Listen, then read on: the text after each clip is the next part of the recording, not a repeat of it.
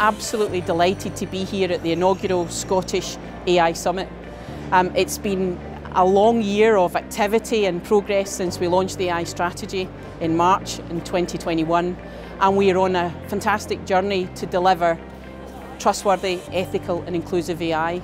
It's great to see so many people here today, both physically and joining us virtually and that hybrid opportunity enables us to get input and engagement right across the country and beyond and we look forward to working with everyone in helping to continue to deliver the objectives set out in the AI strategy and take Scotland to a new level.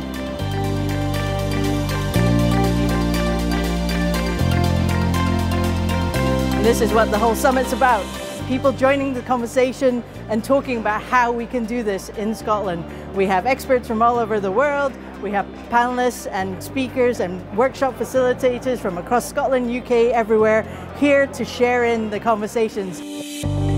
Brilliant to be here at Scotland's first AI Summit. We launched uh, the State of the AI report and uh, released uh, the first iteration of Scotland's AI playbook, which is brilliant, brilliant achievements. Just in terms of the summit, the energy and being able to just get round the, the exhibition hall just demonstrates just how healthy and thriving uh, Scotland's AI ecosystem really is and just be able to feel the buzz and energy that we have here in Scotland around AI is fantastic.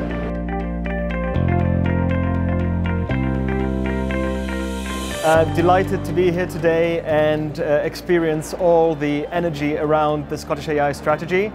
Uh, particularly uh, pleased with the level of engagement from the audience and the, all the stimulating discussions people are having. It's really great to see such a breadth of people from industry, academia and government coming together to celebrate uh, the uh, great strengths we have in AI in Scotland and push forward the national agenda.